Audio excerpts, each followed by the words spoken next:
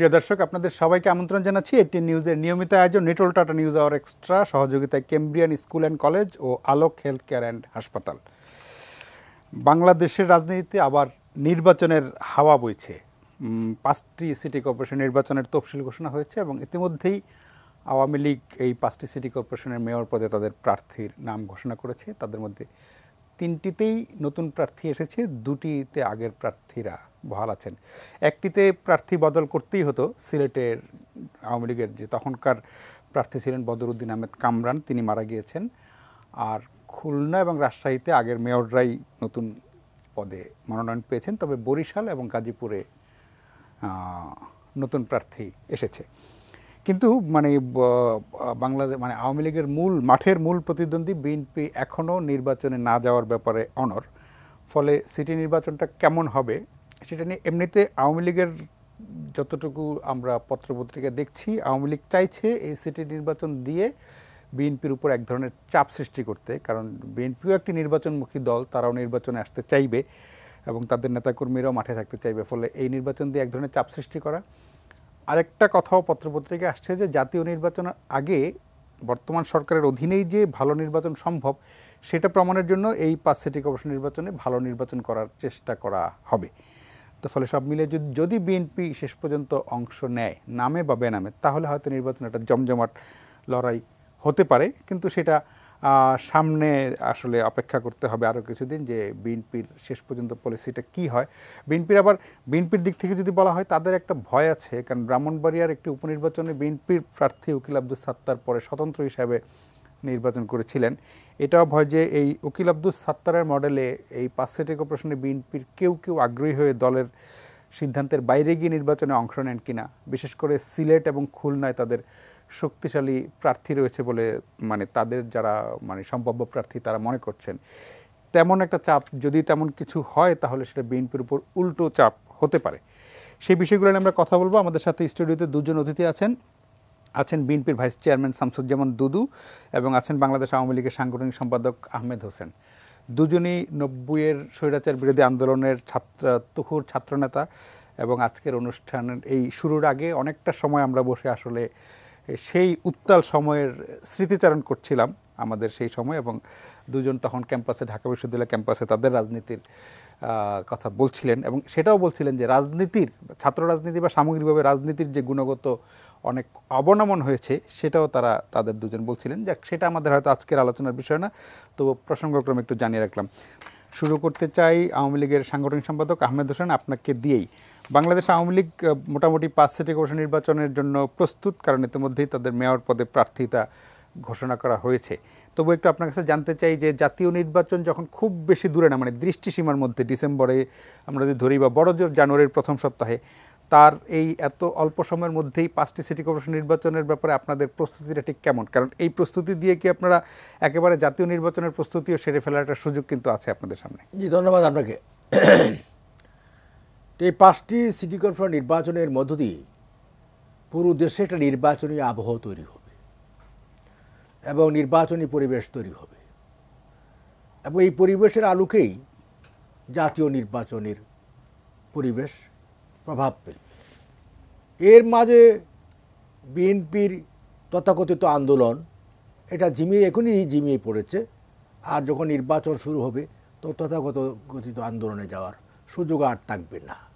আর আপনি যেটা বলেছেন যে স্বতন্ত্র প্রার্থী হিসাবে বিএনপির, আজকে আমি যা দেখলাম, আরিফ সাহেব এয়ারপোর্টে নেমেছেন, নেমে তিনি লন্ডন থেকে এসেছেন। তিনি বলেন, আমি একটা সিগন্যাল নিয়ে এসেছি। আমার নেতার কাছ থেকে সিগন্যাল নিয়ে এসেছি, সেই সিগন্যালটা আমি প্রকাশ করব। এটাও বলেছেন যে জনগণের যে ভাবনা, সেই ভাবনার বাইরে আমি যাব না। এটা তাহলে মিন করে তিনি স্বতন্ত্রভাবে নির্বাচনে আসতে পারেন বা আসবেন, এমন একটা আমরা ধরে নিচ্ছি। তাহলে কিন্তু অন্যান্য সিটি কর্পোরেশন নির্বাচনে কিন্তু এর প্রভাব পড়বে। একটু মানে জানাব আহমেদ হোসেন একটু ছোট্ট আপনি যেটা বলছিলেন যে আপনাদের এই নির্বাচনের মানে নির্বাচনের যে আবহ তৈরি হয়েছে, তাতে বিএনপির যে আন্দোলন চলছিল, এখন রমজানের কারণে হয়তো একটু মানে স্থগিত আছে, সেই আন্দোলনটা ঠিক গতি পাবে না। তাহলে আপনারা কি বিএনপির আন্দোলনকে মানে গতিহারা করার জন্যই নির্বাচনের লাইনে গেলেন এখন? না, আন্দোলন তো এমনি গতি নাই। আগে ছিল জমায়েত, সমাবেশ, তারপরে আসলো পদযাত্রা। পদযাত্রা যায়, যাওয়ার পর যখন টায়ার্ড হয়ে গেল, পায়ে ব্যথা হয়ে গেল, আর চলতে পারছে না, তখন সবচেয়ে নিরীহ প্রোগ্রাম হচ্ছে মানববন্ধনে চলে গেল। কাজেই কখনোই বিএনপির আন্দোলন সেভাবে গড়ে ওঠেনি। আন্দোলন কাকে বলি? খালি কর্মীদের জমায়েত হলে হবে না তো। সেখান থেকে যদি মানুষের জমায়েত না হয়, জনগণের পার্টিসিপেশন না হয়, এটা কোনো দিন আন্দোলন হয় না। কাজে আন্দোলন কখনো বিএনপি জমাতে পারেনি, পারবেও না। আহমেদ ভাই, আরেকটু আপনার কথা অনুযায়ী আমি আপনার কাছে সেটা হলো যে, আপনি বলছেন যে মানববন্ধন বা পদযাত্রার মতো নিরীহ কর্মসূচি। তাহলে আপনি আশা করছেন যে বিএনপি জ্বালাও পোড়ার মতো মানে মানে নিরীহ কর্মসূচি না দিয়ে, কঠোর কর্মসূচি দিবে মানে ঠিক কীরকম আন্দোলন আপনার আন্দোলন যাকে বলে শুনলেন বিএনপি তো আর আন্দোলন মুভমেন্টের পার্টি কখনো না। আন্দোলনের সংজ্ঞা শিখতে হলে আওয়ামী লীগে আসতে হবে। আন্দোলনের ইতিহাস জানতে হলে আওয়ামী লীগের কাছে আসতে হবে। প্রধানমন্ত্রী শেখ হাসিনা আন্দোলনের নেতা তার কাছ থেকে সবক নিতে হবে যে আন্দোলন কীভাবে করতে হয়। কাজে বিএনপি তো সেইভাবে আন্দোলন গড়া পার্টি না। আন্দোলনের নেতৃত্ব কখনো তারা দেয়নি। এটা রিয়ালিটি এটা মানতে হবে। কাজে এই দেশের রাজনৈতিক ইতিহাস যদি আপনি দেখেন ওই ইতিহাস জুড়েই আওয়ামী লীগের নাম আছে। বঙ্গবন্ধু টোটাল বা পাকিস্তান জুড়ে মৌলানা বাসারি সহ সবাই আন্দোলন করেছে। বঙ্গবন্ধু ফোকাস হয়েছে। বাসারি সাহেব হয়তো ক্ষমতায় আসেননি, তারও অবদান আছে। তর্কবাগের তারাও ভূমিকা রেখেছে। কাজে জাতীয়তাবাদী আন্দোলনে বঙ্গবন্ধু যেভাবে আন্দোলনটা বিল্ড আপ করেছেন টোটাল বাঙালিকে আপনার ঐক্যবদ্ধ করেছেন, জাগিয়ে তুলেছেন, জাগো জাগো, বাঙালি জাগো। তোমার আমার ঠিকানা, পদ্মা মেঘনাথ যমুনা। ইস্তুখান্দি যেমন জাগিয়েছেন, পাকিস্তান তখন নড়ে গেছে। পাকিস্তানের ভিত তখন নড়ে একেবারে ভূমিদশ হয়ে গেছে সরকার হয়ে গেছে, বাঙালি জেগেছে। সুতরাং সেইভাবে ইতিহাসের, রাজনৈতিক ইতিহাসের জায়গায় আওয়ামী লীগ যেভাবে আছে বিএনপি কিন্তু এদেশের রাজনৈতিক ইতিহাসের কোনো পৃষ্ঠায় নেই। আপনি দেখেন, পড়েন, দেখেন, চোখ বলে দেখেন না, ইতিহাসে কোন কোন অধ্যায় আছে, কোথাও নেই। জিয়া রহমান যাবে আসছে ক্ষমতায়, সামরিক শাসক হিসাবে আসছে, রাজনৈতিক নেতা হিসাবে আসেনি। বিএনপির জন্মটা হয়েছে রাজনৈতিক প্রক্রিয়ায় নয়, সামরিক প্রক্রিয়ায়। মার্শাল অর্ডিন্যান্সের মধ্য দিয়ে মার্শাল প্রক্লামেশনের মধ্য দিয়ে বিএনপির জন্ম হয়েছে। আর বিএনপি হচ্ছে, আমি বল দুদু ভাই ডোন্ট মাইন্ড প্লিজ বিএনপি হচ্ছে বিভিন্ন জায়গা থেকে আসছে। যেমন বিএনপিতে লেফট লেফট যারা এন্টি আমাদের বিপক্ষে ছিল, যারা তুহা পার্টি করত, যারা হক পার্টি করত, যারা আন্ডারগ্রাউন্ড পার্টি করত, বশির রহমান যারা এরকম ছিল আমাদের বিরোধী এবং মুক্তিযুদ্ধ অপশক্তি যারা মুসলিম লীগ করতো শাহজিজরা করতো রাজা আলিমরা করতো সব মিলে এসে একটা জুট না বেঁধে তাদের তো আন্দোলন করতে অসুবিধা নেই। তার আন্দোলন আপনি যেটা বলছেন যে তাদের আন্দোলন করার শক্তি নেই বা ক্ষমতা নেই সেটা কেন? সাংগঠনিক শক্তি নাই নেতৃত্ব নাই।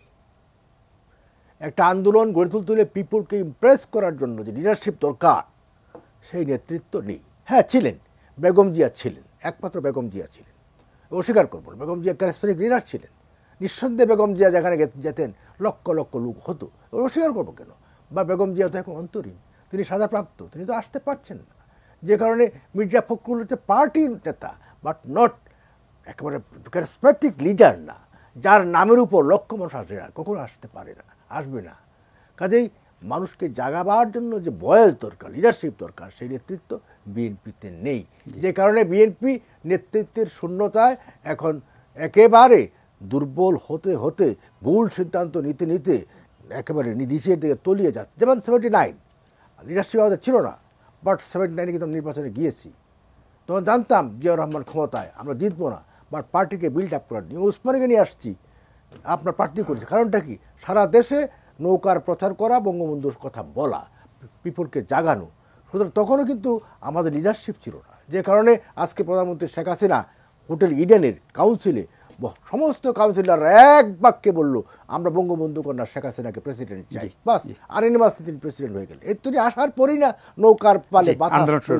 যে আহমেদ ভাই আপনার কাছে আসব আবার একটু দুদুবের কাছ থেকে শুনে আসি। আপনি অনেকগুলো অভিযোগ করলেন যে বিএনপি একদমই আন্দোলন করতে পারছে না বা এই যে সামনে যেই পাঁচটি সিটি কর্পোরেশন নির্বাচন সেই নির্বাচনের কারণে আপনাদের যেটুকু আন্দোলন ছিল মানে আহমেদ ভাইয়ের কথা যদি আমি কোট আনকোট বলি যেটুকু আন্দোলন ছিল সেটাও আর গতি পাবে না।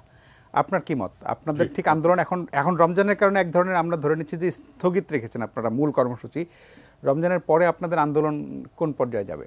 জি আপনাকে ধন্যবাদ। আমার সহযোগী আল- আলোচক আহ, আহমেদ হোসেনকে শুভেচ্ছা। আর যারা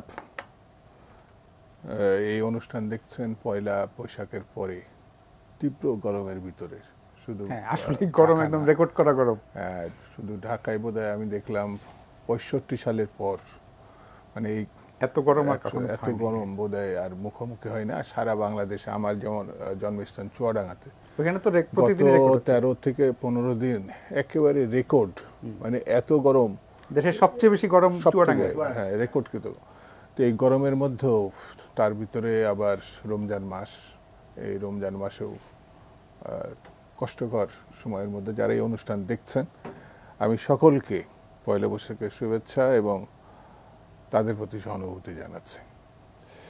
আজকে এই- যে আলোচনা সিটি কর্পোরেশনের নির্বাচন, জাতীয় সংসদের নির্বাচন প্রাককালীন প্রথম কথাই আমি বলি, নির্বাচন নিয়ে বিএনপি খুব একটা ভাবছে না। সিটি কর্পোরেশনের আগে উপজেলায় হয়েছে, পৌরতে হয়েছে ইউনিয়ন কাউন্সিল আছে, এগুলো আমরা বলেছি যে এই দেশে নির্বাচনটা মোটামুটি ধ্বংস হয়ে গেছে।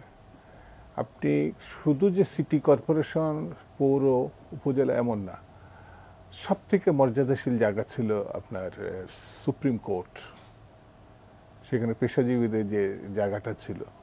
গত দুই একশো বছরে যে ঘটনা ঘটেনি, গত ইলেকশন এবং তার আলে, আগের ইলেকশন চোখের উপরে যেটাকে বলা যায় ডাকাতি। মানে এত ভদ্রলোকের জায়গায় এমন ঘটনা, এটা ভাবা যায় না। ঢাকা বিশ্ববিদ্যালয়ের কখনো কোনো মানে সরকারকে সমর্থন করে, অর্থাৎ পাকিস্তানিদের আমলের থেকে আমরা দেখে আছি শেখ পাকিস্তানপন্থী হিসাবে চিহ্নিত হয়েছে। সে গণতন্ত্র বিরোধী হিসাবে চিহ্নিত হয়েছে।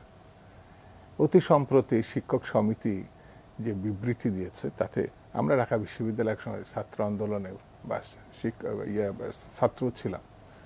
এটা আমরা, আমাদের কাছে মনে হয়েছে খুব লজ্জাজনক একটা ঘটনা।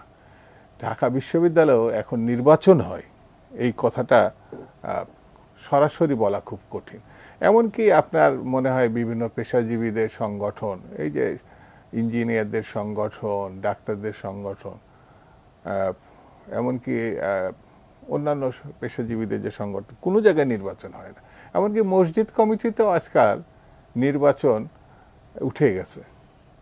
মসজিদ কমিটিতেও আজকাল যার পেশি শক্তি তারাই নির্বাচন করে। সেই জায়গায় আলাদা করে আপনার সিটি কর্পোরেশনের নির্বাচন নিয়ে যদি আমি আলোচনা করি, মানুষ একটু বিস্মিত হবে। কারণ তারা ওই ভোট কেন্দ্রে গিয়ে ভোট দিল কি দিল না, এতে নির্বাচন কিছু। এবার আমাদের নির্বাচন কমিশন তো বলেছে যে ভোটারদের আনার দায়িত্ব আমার না। এটা স্পষ্ট করেই বলেছে কে ভোট দিতে পারল কি পারল না সেটা আইন শৃঙ্খলার ব্যাপার, আমাদের না। তাদের শুধু দায়িত্ব আছে অফিসে বসে কিছু কিছু সাংবাদিকদের সামনে বক্তৃতা করা আর নিয়মিত বেতন নেওয়া আর সরকারি সুযোগ সুবিধা ভোগ করা। পার্শ্ববর্তী দেশে, ভারতে সুপ্রিম কোর্ট নির্বাচন সম্বন্ধে, নির্বাচন কমিশন গঠন সম্বন্ধে, সরকারের সম- সমালোচনা সম্বন্ধে অতি সম্প্রতি পত্রপত্রিকায় এসছে। আর ভারতীয় গণতন্ত্র পার্শ্ববর্তী দেশ বলে না। এটা সারা বিশ্বের যখন খারাপের দিকে যায়, সেটাও আলোচনায় ভালো যেন কোনো দৃষ্টান্ত থাকে, যারা গণতন্ত্র, সংসদীয় রাজনীতি করে, সেই জায়গা থেকে আমাদের অনেক কিছু শিকার আছে। তো সেই শিক্ষার জায়গা থেকে আমরা যদি দেখি, সেই জায়গাতে আমাদের লজ্জা পাওয়ার কথা। মানে নির্বাচন ব্যবস্থা এক কথায়, আপনি যেটা বললেন না যে পাঁচ সিটি কর্পোরেশন নির্বাচন আগামী যে জাতীয় সংসদের নির্বাচন, অর্থাৎ একটা সরকার গঠনের যে নির্বাচন সেই নির্বাচন তো আপনি আঠারো সালের যে নির্বাচন ভাবা যায় জাপানি মতো- একটা রাষ্ট্রদূত, একটা দেশ, সে বলছে বিদায়কালীন সময়ে যে মধ্য রাত্রে আইন শৃঙ্খলা বাহিনী দিয়ে ব্যালট বাক্স ভরা এটা আমি জীবনেও কখনো শুনি নাই, বিশ্বে কেউ কখনো শুনেছে বা দেখেছে বলে মনে হয়। যদিও আইন শৃঙ্খলা বাহিনী পরে প্রোটেস্ট করেছে যে না না, আমরা করি না। মানে করি নাই মানে কি? ঢুকছে, এটা তারা বলেন যে না, এটা হয়নি, এটা না। আমরা করি নাই। আমি আমি খুব মাইনটলি এটা দেখার চেষ্টা করেছি। আর এই তো সপ্তাহখানিক আগেই আমেরিকা সংসদীয় রাজনীতির ক্ষেত্রে ওখানে আপনার প্রেসিডেন্সিয়াল গণতন্ত্র ব্রিটিশের আপনার সংসদীয় পদ্ধতি। তো আমেরিকার দিকেও যদি তাকিয়ে থাকি তারা যে মানবাধিকার রিপোর্ট দিয়েছে স্পষ্ট করে বলেছে যে কোনো পর্যবেক্ষককে মনে করে না গত নির্বাচন স্বচ্ছ এবং গ্রহণযোগ্য হয়েছে। মানে মানবিক দৃষ্টিভঙ্গের অনেক কথা আসছে। সে আর- একটা ছোট্ট ছোট্ট প্রশ্ন আপনার কাছে। আপনি যেমন বলছিলেন যে নির্বাচনী ব্যবস্থা ধ্বংস হয়ে গেছে এখন বিএনপি একটা বড় রাজনৈতিক দল। এই ধ্বংস হয়ে যাওয়ার ক্ষেত্রে আপনাদের এটা ফিরিয়ে আনার ক্ষেত্রে আপনাদের ভূমিকা কি? মানে আপনার নির্বাচন থেকে দূরে থাকলেই কি নির্বাচন ব্যবস্থা ঠিক হবে বা ঠিক করার উপায়টা কি? হ্যাঁ এটা চমৎকার প্রশ্ন করছেন। যেমন বিরাশি সালে যখন এরশাদ সাহেব সামরিক আইন জারি করে নির্বাচিত প্রথম দ্বিতীয় রাষ্ট্রপতি বিচারপতি সাত্তারকে উৎখাত করে তখন বাংলার বাণী একটা খুব চমৎকার একটা হেডলাইন করেছিল। বিরাশি চব্বিশে মার্চ এটা পঁচিশে মার্চ অথবা ছাব্বিশে মার্চ হেডলাইন করেছিল। বাংলা বাণী এখন বিলো- মানে আর প্রকাশ হয় না। তো বাংলার বাণী আওয়ামী লীগের মুখপাত্র হিসাবে পরিচিত ছিল। শেখ ফজল হক সাহেব এটা মনি সাহেব এটা প্রতিষ্ঠা করেছিলেন। এর গেট আপ মেকআপ আমার খুব ভালো লাগতো। লেখার সঙ্গে আমি একমত ছিলাম না কিন্তু গেট আপ মেকআপটা খুব ভালো ছিল। সেই বাংলা বাণী অফিস ছিল হ্যাঁ। হ্যাঁ? মতিঝিলে অফিস ছিল মতিঝিলে অফিস ছিল। তো সেই বাংলা বাণীর হেডলাইনটা ছিল আমার মনে আছে। যেমন দুটো হেডলাইন আমার মনে খুব জল করে। একটা হচ্ছে সামরিক শাসন জারির পরে বাংলা বাণী একটা গুলিও ফোটেনি এক ফোঁটা রক্তও ঝরেনি। হে সামরিক শাসন তোমাকে অভিনন্দন। হ্যাঁ তো কোনো গণতান্ত্রিক ভাবাপূর্ণ পত্রিকা অথবা সংগঠন হে সামরিক শাসন তোমাকে অভিনন্দন। করতে পারে, এটা আমার কাছে খুব ভয়ঙ্কর মনে আছে যেমন পঁচাত্তর, পনেরো আগস্টের পরে সমর সেন ছিলেন ভারতীয় রাষ্ট্রদূত। নৃশংস মৃত্যু শেখ মুজিবুর রহমান সাহেবের সব পরিবারে দুইজন মেয়ে ছাড়া। এটা ভাবা যায় না। কিন্তু তার পরের দিন আপনার ইত্তেফাক, একদিন কি দ্বিতীয় দিনে আমার খন্দকার মোস্তাক রাষ্ট্রপতির দায়িত্ব নিয়েছে। আর সমর সেন মোস্তাকে থেকে একটু বেশি লম্বা ছিল। তো জড়িয়ে ধরেছে না তা আর খন্দকার মোস্তাকে দেখা যায় না। এমন একটা ছবি ওই পত্রিকায় বেরিয়েছিল। তিন দিনের মাথায় ইন্দিরা গান্ধী বলেছিলেন যে এটি বাংলাদেশে আভ্যন্তরীণ ঘটনা। এটাও হেডলাইন করেছিল। তো এই দুটি প্রসঙ্গ কেন আমি এখানে নিয়ে আসলাম? আমাদের দেশের যে ঘটনাগুলো, সে দায় সরকার বলেন আর আমরা বলি কেউ এড়িয়ে যেতে পারব না। কারণ মুক্তিযুদ্ধে আমরা কিন্তু এই দেশটা অর্জন করেছি। বাহান্ন বছরের মধ্যে আপনি যেটা বললেন না, কেন আপনারা অনুপস্থিতিতে কেন আন্দোলন হবে না? বিরাশির পরে এই যে এক ফুটা রক্ত ঝরে নাই হে সামরিক সাহেব তারপরে দীর্ঘ নটি বছর কিন্তু বিএনপির চেয়ারপারসনের যে দায়িত্ব ছিলেন, তার নাম বেগম খালেদা জিয়া। এখনও তিনি আছেন, তিনি জেলে আছেন। গণতন্ত্রের কারণে তিনি জেলে আছেন বলে আমার বিশ্বাস। তিনি দীর্ঘ নয় বছরে বলেছিলেন হোসেন মোহাম্মদ এরশাদের আন্ডারে তিনি নির্বাচন করবেন না সামরিক স্বৈরাচারের বিরুদ্ধে। শেখ হাসিনাও বলেছিলেন আওয়ামী লীগের সভানেত্রী হিসাবে। কিন্তু এটা আপনার নিশ্চয়ই খেয়াল আছে এইটটি সিক্সে ছিয়াশি সালে যে। হ্যাঁ তো যেদিন আওয়ামী লীগ সভানেত্রী চট্টগ্রামে বলে আসলেন যে এই নির্বাচন মানে হোসেন মোহাম্মদ এরশাদ সাহেবের নির্বাচনে যে অংশগ্রহণ করবে সে জাতীয় বেইমান হিসাবে চিহ্নিত হবে। ওখানে গুলিও চলেছিল তার মিছিলের উপরে।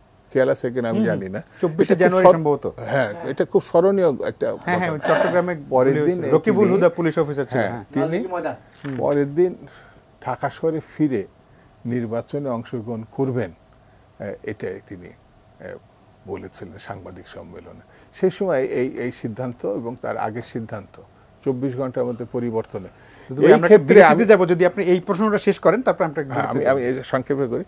আমি বলতে চাচ্ছি আগাগোড়া বিএনপি কখনো গণতন্ত্রের প্রশ্নে কারোর সঙ্গে কোনো সামরিক ব্যক্তির সঙ্গে আপোষ করে নাই। এই যে আহমেদ সাহেব যেটা বললেন বিএনপি কিসের আন্দোলন করবে? আপনার বিরাশি নব্বই গণভ্যুত্থানে ডাকসু তো আহ, ছাত্র দলের ছিল বিএনপি ছিল। সেখানে ছাত্রলীগ ছিল সেখানে। কিন্তু ডাকসু যেখানে ছিল ছাত্র দলের তার নেতৃত্ব বেগম খালেদা জিয়া।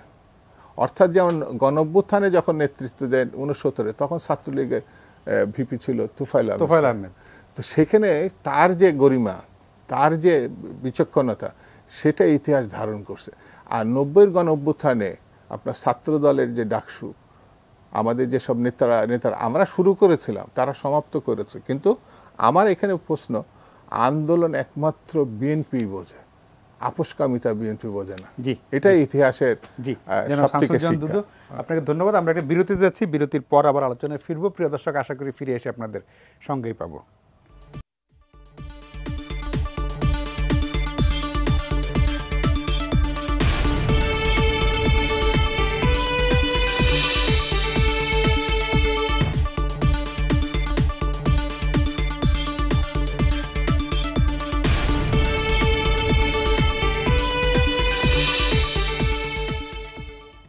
ফিরে এলাম আলোচনা একজন দর্শক টেলিফোনে অপেক্ষা করছেন। ফোনটি নিয়ে আমি আলোচনায় ফিরবো। প্রিয় দর্শক, আপনার নাম বলে প্রশ্নটি করুন। হ্যাঁ হ্যালো? হ্যালো? হ্যালো? হ্যালো, প্রিয় দর্শক, আপনার নাম বলে প্রশ্নটি করুন। ও, ওকে। লাইনটি বিচ্ছিন্ন হয়ে গেছে। আমরা যদি পরে আবার পাই তাহলে যাব। জনাব আহমেদ হোসেন আলোচনায় ফিরছি। আপনি যে অভিযোগটি করছিলেন, শামসুজ্জামান দুদু উল্টো বললেন যে, বিএনপি বরং বিভিন্ন সময় আন্দোলন করেছে, সেটা এরশাদ বিরোধী আন্দোলন হোক নব্বই গণভ্যুত্থান বা যেটা, আপনার সাথে ছিলেন ওনাদের। যে আন্দোলনের যে বড় কথা হলো যে, এখন যেই অবস্থায় ওনারা বলছেন যে, জাত মানে জাতীয় নির্বাচন নিয়ে ওনারা ভাবছেন না, সিটি কর্পোরেশন নির্বাচন তো সেখানে কোনো ইয়েই না এবং বলছেন যে, নির্বাচনী ব্যবস্থাকেই আপনারা মানে আপনাদের দলের যে সরকার, সেই সরকার নির্বাচনী ব্যবস্থাকেই ধ্বংস করে দিয়েছে।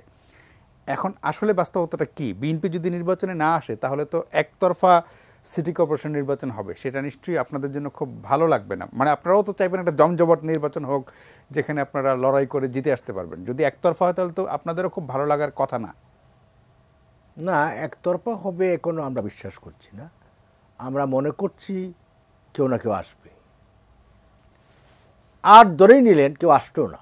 আমাদের কি পথ খোলা আছে আপনি বলেন। আপনার চেয়ার থেকে বলে দিন। এই যে ভাই বললেন, এরশাদ সাহেব, এরশাদ সামরিক শাসক হতে সাহস পেত না, যদি জিয়াউর রহমান সামরিক শাসক না হতেন। একটা ঘটনা আর একটা ঘটনাকে ইনভাইট করে। কাজে বাংলাদেশের সামরিক শাসক তো একজন না, দুজন। First Ziaur Rahman second Ershad. কাজে আমরা কিন্তু জিয়াউর রহমানের বিরুদ্ধে আন্দোলন শুরু করেছিলাম। জিয়াউর রহমান যদি ঘটনাকে মারা না যেতেন তার বিরুদ্ধে কিন্তু গণভুত্থান হতো। আজকে প্রধানমন্ত্রী শেখ হাসিনার নেতৃত্বে আমরা যাত্রা শুরু করেছিলাম। কাজেই এই যে আন্দোলনের কথা বললেন আমি আমি ঘটনার সাক্ষী আমি নিজে সাক্ষী যেদিন জিহাদ মারা গেল জিহাদের লাশ পড়ে আছে কোথায়? দশই অক্টোবর নব্বইয়ের দশই অক্টোবর। জিহাদের লাশ ক্যাম্পাসে অপরাজয় বাংলার পাদদেশে সন্ধ্যা গনি আসছে কেউ আসছে না। আজকের প্রধানমন্ত্রী বঙ্গবন্ধু কন্যা শেখ হাসিনাই ছুটে আসলেন। এসে বললেন, আন্দোলন শুরু হলো, তোমরা ঐক্যবদ্ধ হও।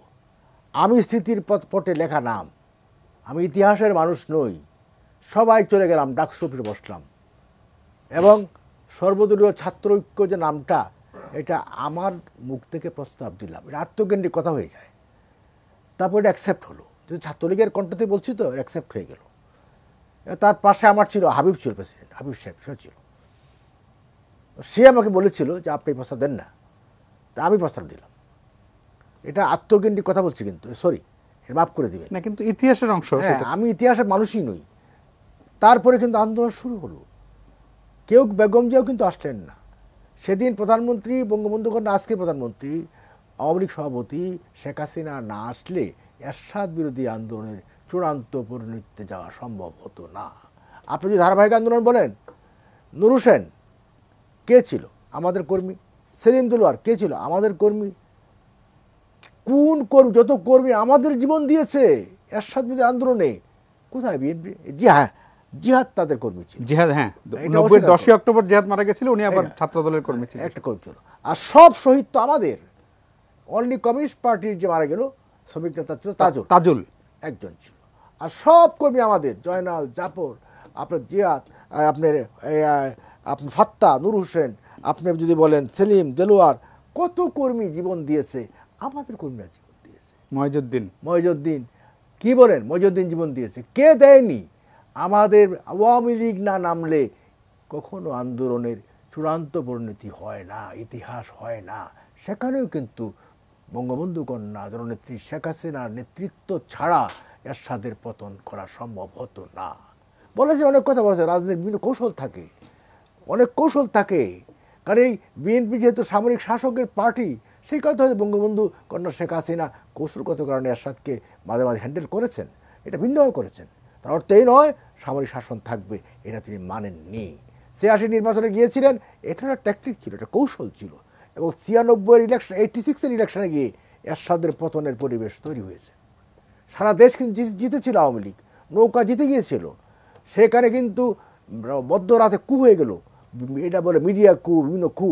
এই কুর মধ্য দিয়ে ব্যালট চুরি হ্যাঁ হাইজাক ব্যালট চিন্তায় ডিক্লারেশন মিডিয়া ডিক্লারেশন এর মধ্য দিয়ে এরশাদের চরিত্রটা কিন্তু পাবলিকলি প্রকাশ হলো যে এরশাদকে রেখে বাংলাদেশের ডেমোক্রেসি আসবে না। সেই কারণে সেই দিনের এই নির্বাচনে যাওয়ার যৌক্তিকতা ছিল এবং এরশাদের বিরুদ্ধে সারা দেশে জনমত গড়ে ওঠার একটা পরিবেশ তৈরি হলো। কাজেই আজকে আপনি যে কথাগুলো বলছেন সিটি কর্পোরেশন নির্বাচনে যদি বিএনপি না আসে সেটা বলছি আমি বলছি আপনি আপনি যে কথা বলছেন প্রবাস শোনেন। আপনিও ছাত্র লীগের ছাত্র নেতা ছিলেন ক্যাম্পাসের স্টুডেন্ট ছিলেন। আপনিও দেখেছেন আপনার তো অভিজ্ঞতা কম হয় নাই। আপনার চোখে বাংলাদেশের ছবি আছে আন্দোলনের ছবি আছে। আপনি বলেন এই ছবিতে কি আছে? আজকে যে বিএনপি টোটালি যে পথে জন্ম নিয়েছে সেই পথেই আছে। BNP totally is the party of conspiracy ষড়যন্ত্রের পার্টি প্রধানমন্ত্রী যে কথা বলেছেন দেশে এবং আন্তর্জাতিকভাবে ষড়যন্ত্র হচ্ছে। এটা সত্য কথা বলেছেন। পার্লামেন্টে দাঁড়িয়ে তিনি যে হুঙ্কার দিয়েছেন, গর্জে উঠেছেন বঙ্গবন্ধুর মতোই। বঙ্গবন্ধুর মতো অমিত তেজ নিয়ে এবং তিনি যেভাবে কথা বলেছেন, দেশপ্রেমের কথা বলেছেন এবং বাংলাদেশের স্বাধীনতা সপ্রাইনটি এটা আমার শেখ, প্রধানমন্ত্রী শেখ হাসিনার হাতেই নিরাপদ। আমরা এখনও বলছি কসপারেসি করে কখনো গণতন্ত্র আসে না, চক্রান্তের পথে ডেমোক্রেসি আসে না। আপনি গণতন্ত্রের চারা গাছটা লাগানো হয়েছিল, সেই চারা গাছটা কেটে ফেলল কেন? পনেরোই আগস্টে গণতন্ত্র ধীরে ধীরে ডেভেলপ করে। ইন্ডিয়ার ইন্ডিয়া রেফারেন্স দিতে পারেন। ইন্ডিয়ার থেকে কি জিয়াউর রহমান এসেছে ক্ষমতায়? ইন্ডিয়াতে কি এরশাদ সাহেব ক্ষমতায় আসছে যে জেনারেল ক্ষমতায় এসেছে, সুতরাং ওইগুলো রেফারেন্স দেওয়া যায়। কিন্তু আমার দেশের যে ধারাবাহিকতা, গণতন্ত্রের ধারাবাহিকতা, সেটা কি রক্ষা ছিল? পঁচাত্তরে পনেরোই পনেরোই আগস্ট বঙ্গবন্ধুকে হত্যা না করলে সামরিক শাসন জারি না হলে আজকে বাংলাদেশ কোথায় গিয়ে দাঁড়াতো? কাজে ডেমোক্রেসিকে লালন পালন করতে হয়। আজকে নির্বাচনে না আসলে আপনি কী করতে চান সেটা বলেন। আজকে পরিষ্কার করে বলতে হবে হ্যাঁ নির্বাচনে আসব না আবার নির্বাচন করতেও দেবো না তাহলে মিন কি হয়? যে সন্ত্রাস করবেন এই যে গা ওনারা বলছেন যে তত্ত্বাবধায়ক সরকার ছাড়া আসবেন আসবেন। আসবেন তথ্যবাদক জীবনে আসবে না। প্রবাস I tell you news session আমি বললাম তত্ত্বাবধায়ক ইহ জনমে আসবে না। অসম্ভব। কিন্তু বিএনপি বলছে তত্ত্বাবধায়ক না এলে তারা নির্বাচনে আসবে না। আসবে না না আসলে আমাদের করার কি থাকবে? আমরা গণতন্ত্রের ট্রেন থেমে থাকবে না সংবিধান থেমে থাকবে না আমরা আমাদের গণতন্ত্রের ট্রেন এগিয়ে নিয়ে যাব সংবিধান এগিয়ে নিয়ে যাব আমরা ট্রাভেল সিচুয়েশন ফেস করেছি অতীতে করেছি ভবিষ্যতে করব। সিচুয়েশন ফেস করেই আমাদের নেতা বাংলাদেশ নেতা বঙ্গবন্ধু শেখ হাসিনা ডেমোক্রেসির ঝান্ডা পতাকাকে উড্ডীন রাখবেন সেখানে তিনি সারেন্ডার করবেন। আহমেদ হোসেন আসব আপনার কাছে আবার একজন দর্শক ফোনে আছেন ফোনটি নিয়ে আমি জনাব শামসুদ্দাম দুদুর কাছে যাব। প্রিয় দর্শক আপনার নাম বলে প্রশ্নটি করুন। আমি খিলগা থেকে বলছি ঢাকা খিলগা থেকে বলছি। জি প্লিজ আপনার নামটা? সরওয়ার্দি সরওয়ার্দি। জি প্লিজ বলেন। হ্যাঁ আমার প্রশ্নটা হলো ওই তিন চার দিন আগে টকশো দেখলাম শমশের মোমিন চৌধুরী ছিল সচিব মোশারফ সাহেব ছিল এবং আমেরিকা থেকে মানে মোস্তফা সরোয়ার ছিল।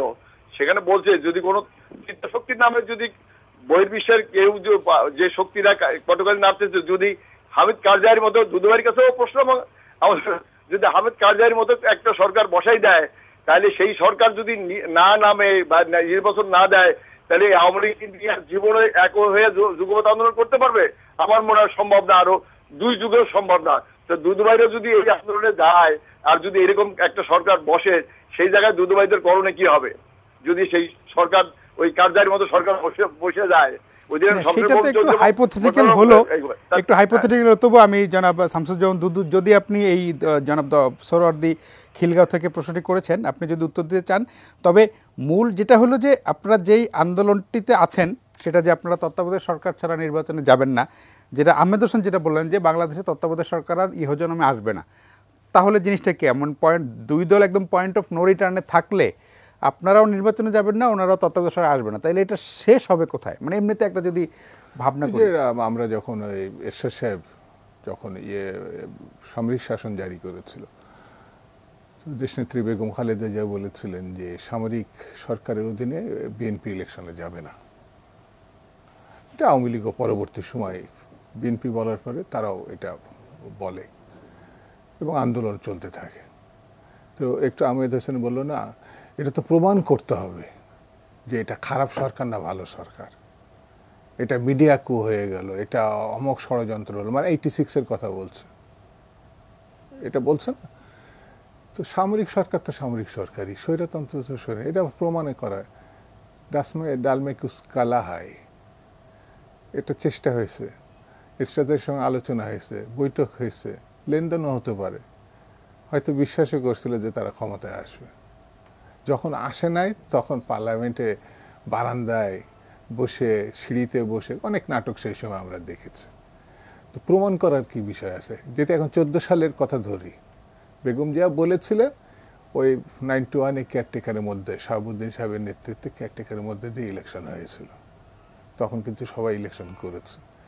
তো এখন চোদ্দ সালে যে ঘটনা, আঠারো সালের যে নির্বাচন মধ্যরাত্রে কিন্তু আমি শেষ একটু থামাচ্ছি আপনাকে। আমি আপনার কাছেই আসি সেটা আপনার দুই হাজার চোদ্দ সালে একই দাবিতে তত্ত্বাবধায়ক সরকারের দাবিতে নির্বাচনে যান নাই। দুই হাজার আঠারো সালে কিন্তু গিয়েছিলেন।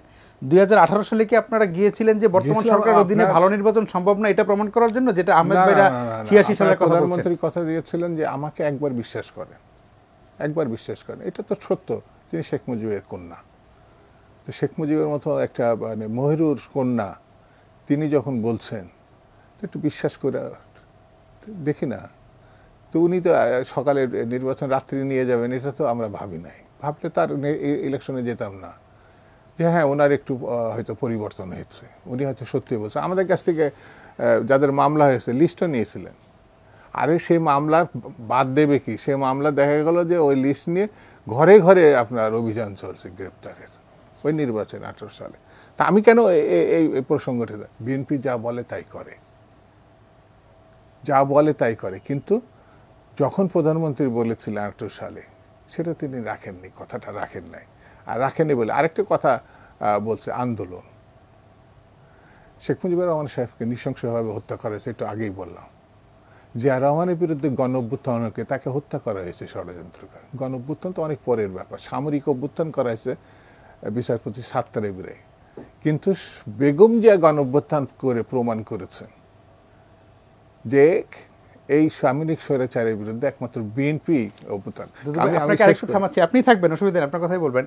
নব্বইয়ের বেগম খালেদা জিয়ার নেতৃত্বে আপনারা যেই আন্দোলন করেছেন সেই বিএনপি আর এখনকার দুই হাজার তেইশের বিএনপি মানে আপনিও তো দীর্ঘদিন ধরে দেখছেন আমরাও দূর থেকে দেখছি হয়তো। মানে দুইটাকে কি আসলে এই আন্দোলন আর ওই আন্দোলনকে এক কাতারে এক আমি এক। কারণ বলে দিই না আমরা অহিংসা আন্দোলন করছি এখন।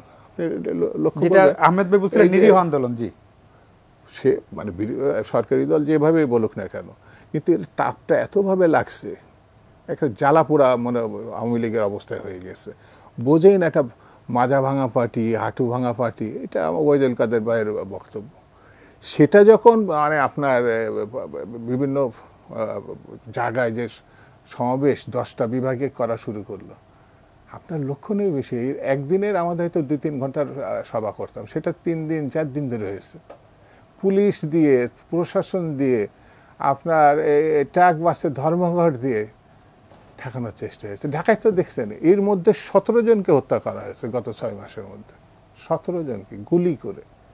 তার মানে মাজা ভাঙা পার্টির সঙ্গে গিয়ে পুলিশ, প্রশাসন, সমস্ত রাষ্ট্রীয় যন্ত্রকে ব্যবহার করা হয়েছে। মাজা ভাঙা পার্টির সঙ্গে পাচ্ছে না। মানে তাদের মানে আমরা মানববন্ধনের মতো কর্মসূচিকেও তারা করতে দিচ্ছে না। পুলিশ পুলিশ না থাকলে আওয়ামী লীগ নাই তো? সারা দেশে আওয়ামী লীগের কার্যত নাই কিন্তু। যদি পুলিশ খালি দু ঘণ্টা গেলে চুপ থাকে, তাহলে আওয়ামী লীগের ঘর থেকে বেরোনো কঠিন। কারণ তাদের সাংগঠনিক যে এখন যে অবস্থা হয় যেমন দেখেন না, প্রধানমন্ত্রী দশটা ট্রেন উত্তরবঙ্গে উনি ভাড়া নিয়েছিলেন, দশটা ট্রেন। আমাদের জন্য বাসই নেওয়া নিতে দেয় না। থ্রি হুইলার হুইলার ওই যে বেবি টেবু নিতে দেয় না। আমাদের, আপনার রিক্সায় চড়তে দেয় না। প্রধানমন্ত্রী আবার ঢাকা শহরে দেখেন না মানে আমাদের আরেকটা আপনি। শেষ করেন, জি, হ্যাঁ, শেষ করেন। এখানে যারা ওই লুঙ্গি টাকা আর খাবার নেওয়ার পরে সবাই পাশে ডিঙি চলে যাচ্ছে। এই এটা আবার মিডিয়া আবার এই মিডিয়া দেখিয়ে দিয়েছে বলে ডিজিটাল আইন। না দেখায় মর্যাদা শেষ। সেই জন্য আমার কাছে যেটা আমার কাছে মনে হয় যে সরকারের পদত্যাগ করার কোনো বিকল্প নাই। কেয়ারটেকারের হাতে ক্ষমতা দেওয়া ছাড়া কোনো বিকল্প নাই। পার্লামেন্ট ভেঙে দেওয়া ছাড়া কোনো বিকল্প নাই। আর নির্বাচন পুনর্গঠন করা ছাড়া আপাতত মুহূর্তে এই রাজনৈতিক সংকট উত্তরণের আমি মনে করি আর কোনো দিনটি জি একজন দর্শক ফোনে আছে ফোনটি নিয়ে আমি বিরতিতে যাব। প্রিয় দর্শক আপনার নাম বলে প্রশ্নটি করুন। আসসালামু আলাইকুম। ওয়ালাইকুম আসসালাম। আমি ঝর্ণা গাজীপুর থেকে বলছি। জি প্লিজ বলেন। আমার প্রশ্ন হলো বিএনপি নেতার কাছে দুদু সাহেবের কাছে। ওনার যে আন্দোলন করতেছে, এই আন্দোলনের ফলাফলটা প্রমাণ করার জন্যেও কি পরিমাণ জনগণ তাদের তাদের সাপোর্ট করল, এটা বোঝার জন্য নির্বাচনে আসা উচিত, সিটি নির্বাচনে আসা উচিত। আর আরেকটা যেটা হইল যে, নির্বাচন কমিশন বলতেছেন যে তারা সুষ্ঠু নির্বাচন করবে। এটা প্রমাণ করার জন্য তাদের নির্বাচনে আসা উচিত। এ ব্যাপারে তারা কি বলবেন? আচ্ছা জানা ঝর্ণা, আপনাকে অনেক ধন্যবাদ। আমরা বিরতির পরে দুদুবের কাছ থেকে উত্তরটি জানার চেষ্টা করব। একটা ছোট্ট বিরতি যাচ্ছে, অনুষ্ঠানের শেষ বিরতি।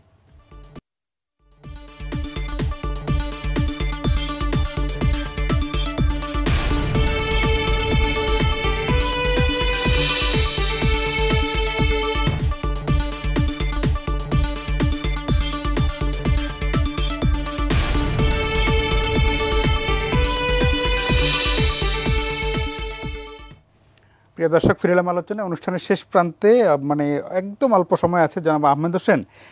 যে একজন দর্শক আছেন ফোনে। প্রিয় দর্শক আপনার নাম বলে ছোট্ট করে প্রশ্নটি করে ফেলুন দ্রুত সময় নেই। আসসালামু আলাইকুম। ওয়ালাইকুম আসসালাম। জি আমি খিলকেট ঢাকা থেকে সেলিম মেহবুব বলছি। জি। আমার প্রশ্ন এই সম্মানিত আলোচক বৃন্দের কাছে বিশেষ করে শামসুজ্জামান দদু ভাইয়ের কাছে যে বর্তমান যে সিটি নির্বাচন আজকের টপিক কিন্তু আমাদের যে রাজনীতি রাজনীতিবিদরা দেশ ও জাতির সাথে দেশ ও জাতির সাথে রাজনীতি না করে নিজেদের ক্ষমতাকে কীভাবে কুক্ষিগত করবে ক্ষমতায় থাকবে এই নিয়ে চিন্তা ভাগ বাটোয়ারা নিয়ে। আসলে কি রাজনীতির উদ্দেশ্য কি এইটা কিনা জি জি আপনাকে অনেক ধন্যবাদ। আমরা উত্তর জানার চেষ্টা করব। জনাব আহমদ হোসেন যেমনটি আহ, শামসুজ্জামান দুদু বিরতির আগে বলছিলেন যে সরকারের পদত্যাগ তত্ত্বাবধায়ক সরকার এছাড়া ওনারা কোনো সমাধান নেই এবং বলছেন যে পুলিশ না থাকলে আপনারা ঘর থেকে বেরোতে পারবেন না। আপনাদের অবস্থা কি এত খারাপ? আমি এই পুলিশ থেকে না থাকলে গড় থেকে বেরোতে পারব না এটা একটা অবাস্তব কথা বলেছেন। এটার মধ্যে কোনো বাস্তবতা নাই। এটা মানুষ তো হাসবেই। কে কেউ বলে এ, মির্জা সাহেব বলেন গোড়া হাসে। গোড়াও হাসবে না শিয়ালও হাসবে। বিএনপিকে নির্বাচনে আনার জন্য আপনাদের কোনো চেষ্টা টেষ্টা উদ্যোগ বা ভিতরে টিতরে ভাবনা চিন্তা কিছু আছে কিনা? কোনো নির্বাচনে আমরা কীভাবে আনব? পায়ে ধরে আনব নাকি? না একটু তাদের সাথে আলোচনা সমঝোতা। আলোচনা করে এই দেশে আলোচনা কোনো হয় না এগুলো। বহুবার সে হয়েছে এগুলো তেল মালিশ করা সম্ভব না। শত প্রণোদিত হয়ে একটা রাজনৈতিক দল যদি গণতান্ত্রিক দল হয় নির্বাচনের পার্টি হয় জনগণের পাওয়ারে বিশ্বাস করে তার নিজস্ব রিয়েলাইজেশন থেকে যদি সিদ্ধান্ত না নেয় সেখানে তদবির করে বা দুতালি করে অথবা তেলে, তেল মালিশ করে কাউকে আনা যায় না। কাজে বিএনপির পথটা কি নিশ্চয়ই একটা ব্যাড ডিজাইন আছে? আমার কাছে মনে হচ্ছে একটা ব্যাড ডিজাইন ইল মোটিভ আছে। সেই ইল মোটিভটাকে বাস্তবায়ন করার জন্য দৌড়ঝাঁপ শুরু করেছে। সেই ইল মোটিভে কি লাভ নেই। তারা মনে হয় যে আটা ওয়ান ইলেভেন আনতে চাচ্ছে। ওই আটা ওয়ান ইলেভেনের জন্য চেষ্টা করছে। ওই ইল মোটিভটা কিন্তু কার্যকর হবে না। এটা বাংলাদেশে কার্যকর হতে দেওয়া যাবে না আমরা কিন্তু রেডি আছি। আইনও পাশ করা আছে কিন্তু। সব দিক থেকে কিন্তু আমরা প্রস্তুত আছি। আচ্ছা। এবং এটা প্রস্তুত না থাকলে দেশের প্রধানমন্ত্রী বঙ্গবন্ধু কন্যা শেখ হাসিনা পার্লামেন্টে দাঁড়িয়ে যেভাবে গর্জে উঠেছেন এই গর্জনের মাঝে কিন্তু তার সমস্ত মেসেজ দেওয়া আছে।